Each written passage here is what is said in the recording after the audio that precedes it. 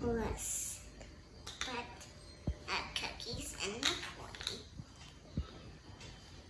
And put some food in it.